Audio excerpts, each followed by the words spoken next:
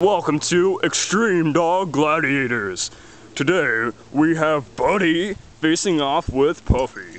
Who will win in this ultimate fight for dog championship? It looks like we have some interference from the crowd. Miss, I'm gonna have to ask you to step off of the arena.